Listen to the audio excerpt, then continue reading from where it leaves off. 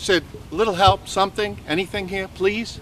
Well, Woody, it just so happens we are here with head professional and director of golf instructions, Guna Kunjan, here at Harbor Links Golf Course. Guna, thanks for coming on the program. Thank you. Thank you very much for having me on the program. Hey, before you teach Woody how to shoot a bunker shot, give us an idea about Harbor Links. What makes this course great? Golf course was built in 1998, about 12, 13 years old. It's just starting to mature. Uh, it's an easily accessible public golf course, one of the premier golf courses around. It's a links golf course, that means there's not too many trees around. And it's suitable for people of all levels to play golf. They don't get lost in trees and woods all the time. So it's, it's a, a forgiving golf course. Uh, it's also very accessible to everybody. And So talk, we not only have an 18-hole golf course, but we all have, also have a nine-hole. Talk about the executive course as well. we have a nine-hole executive golf course, uh, which is basically for people who are beginning kids and older people who can't afford or walk or play the 18-hole golf course.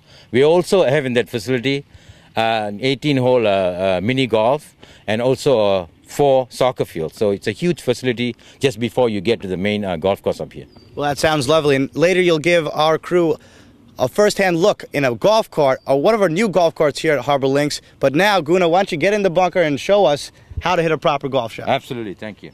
The most important thing when you get into a bunker is to use the bounce. This is called the bounce of the club. Mm-hmm. Woody went into the sand with this leading edge, this sharp edge of the club, and he digs into the ground. And there's no more speed, so the ball doesn't get a chance to get out. If you bounce it at the bottom of the club, which is the bounce, it ejects sand and ball. You hit ball 1st uh-huh. all right? We want to hit sand, about two inches of sand only.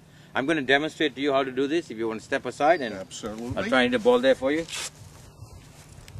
Not a very difficult shot, but very intimidating. Because you're in sand, there's a little bit of a lip here. The, the problem with a lot of amateurs is they want to try and help it up. You really don't want to help it up. Right. If you hit the sand, the ball sitting on it it will come out by itself. Huh? I'll go this way then. I'll go that way. Yeah, okay. Yeah, I want to go this way. So you want to try and thump it, all right? I'm going to go to this close fl- flag for you, Woody. Okay. Just try and thump the sand and it'll just come out, huh? Like that. Guna, question about golf. Okay. What is more difficult, dealing, teaching about the frustrations of the game or the actual physical game itself? I think the frustration of, a, of, of the game is a little bit more to deal with because I'm not a psychiatrist or a psychologist.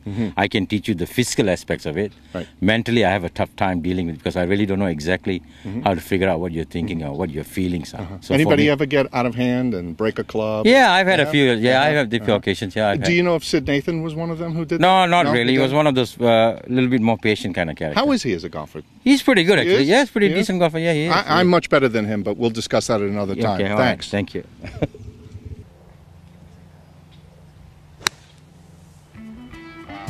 Did you see that? Yeah, that's I can do that. you can't do that. You want to see it? Yeah, I want to see it. I'll step over there right now. Watch.